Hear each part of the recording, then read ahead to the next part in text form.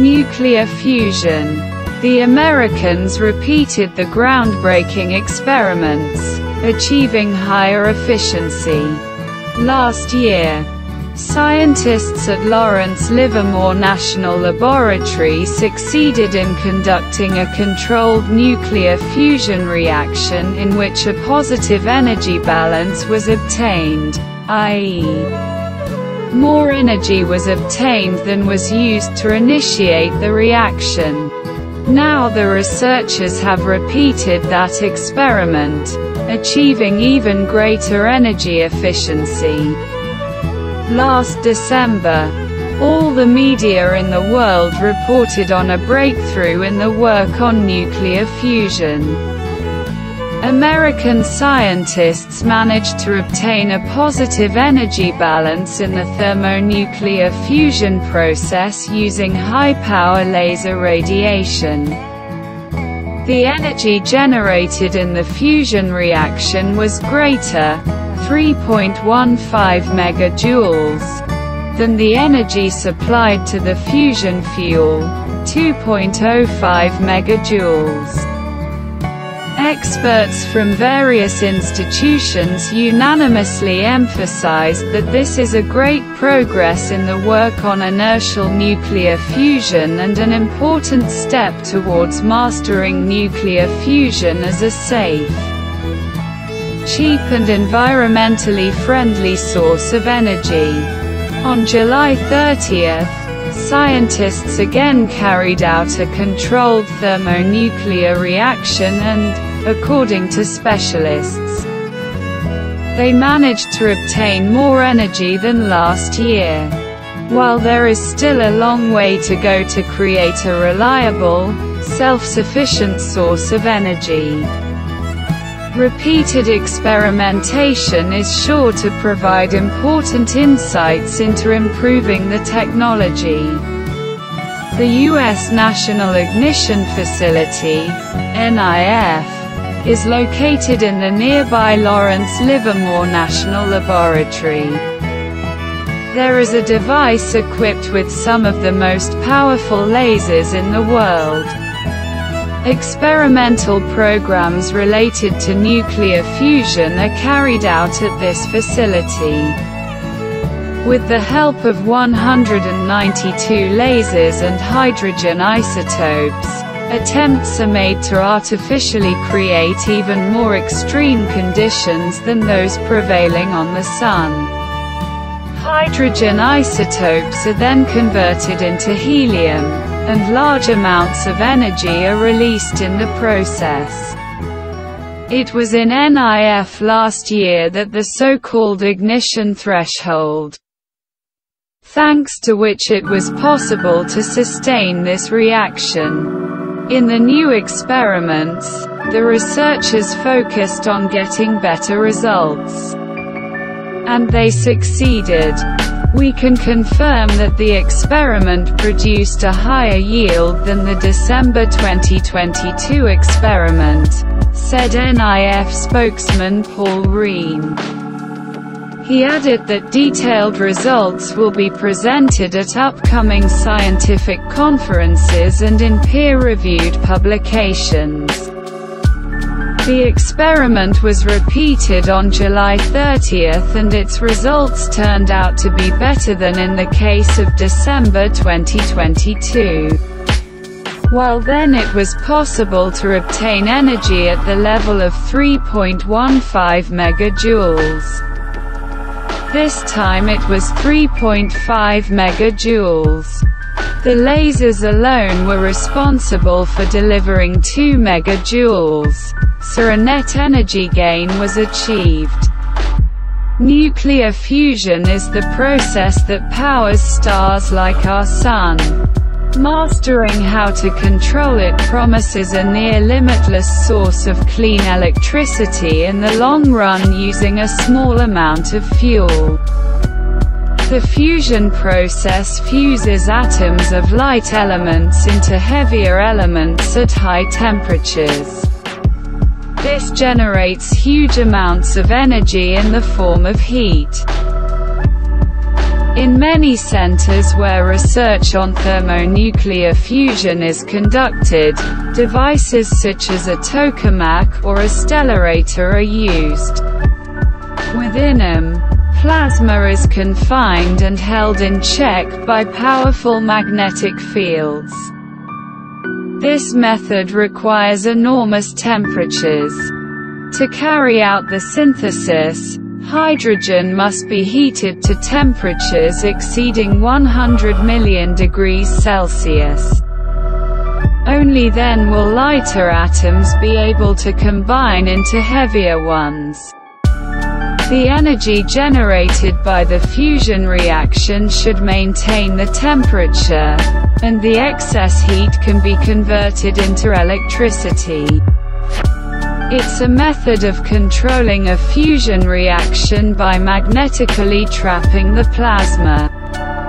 Another method is inertial plasma confinement, and this is the method NIF scientists are using. The fusion reaction here is triggered by powerful lasers. In both cases, the hydrogen isotopes deuterium and tritium are used as fuel. In the first method, the synthesis process is slower, which makes it easier to control. Such thermonuclear reactions have already been carried out in tokamaks and stellarators in several research centers around the world.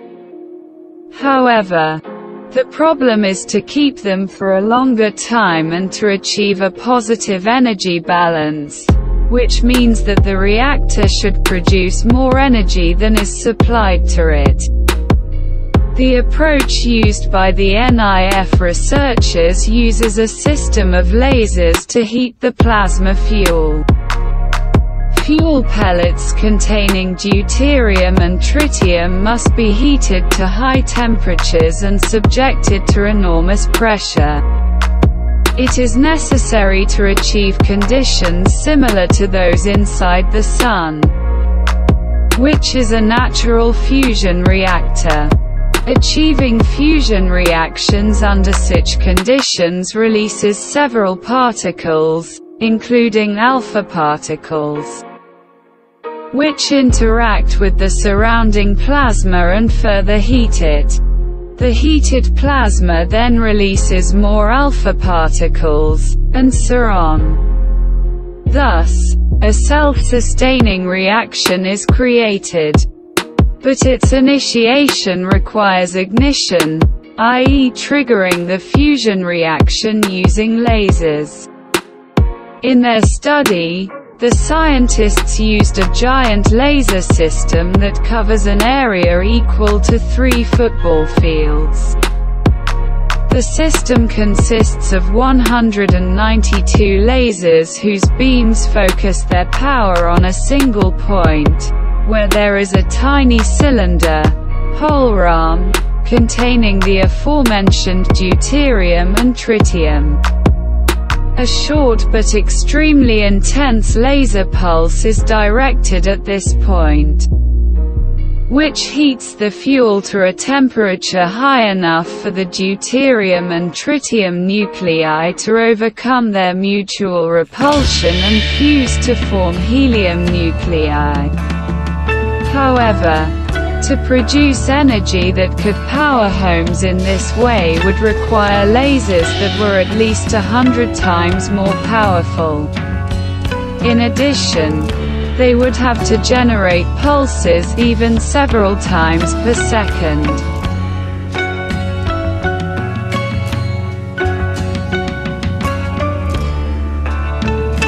400 ancient tombs carved out of rock have been discovered in Turkey. Excavations near the ruins of the ancient city of Blaundos in Turkey have revealed 400 rock-cut tombs dating back to around 1,800 years ago. Valuable artifacts were found in burial chambers and the walls of the tombs themselves were covered with intricate paintings. Archaeologists suggest that this is not the end of discoveries. A team of researchers discovered the tombs near the ancient city of Blaundos, about 180 kilometers east of the Aegean Sea in present-day Turkey. The city was founded in the time of Alexander the Great and existed throughout the Roman and Byzantine periods. Many tombs contain mixed remains of the dead.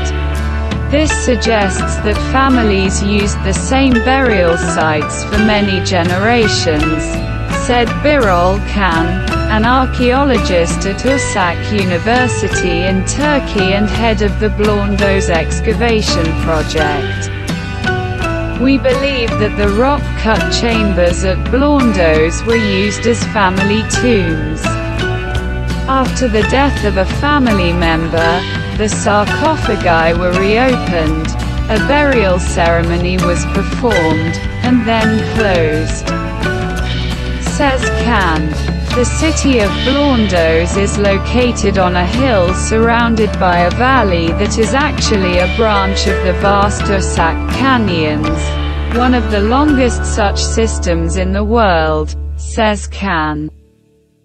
The ancient inhabitants built an acropolis on the slopes of the canyon. Although archaeologists have known about the cemetery for over 150 years, no systematic excavations have been carried out so far. Canya's team started work in 2018. Researchers also worked in the ruins of the city itself. They managed to find two temples, a theater, a public bath, a basilica, city walls and a gate, aqueducts, as well as tombs carved in the rock. According to Can, this is not the end of discoveries. As a result of our work, which was sometimes dangerous, we managed to document about 400 tombs carved in the rock, says Can. Unfortunately, the necropolis was plundered many times by robbers looking for valuables. The arrangement of the tombs is not uniform. Researchers have discovered both single chambers and those consisting of several rooms. Fragments of pottery and coins remaining in the graves indicate that they were used from the 2nd to the 4th century CE. Also the technique of making wall paintings in tombs indicates that they come from Roman times, argues Can. Artifacts have been found in some of the graves that were supposed to help the deceased after death. Among them, mirrors, diadems, rings, bracelets, hairpins, medical instruments, belts and drinking cups. Thanks to similar objects, researchers can better understand the life of the ancient inhabitants of the city.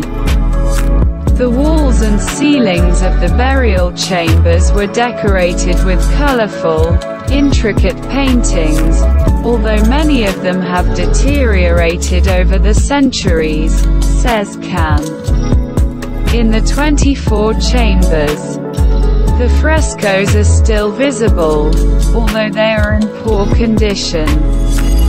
Some of these tombs were used as animal shelters by shepherds long ago, said Can.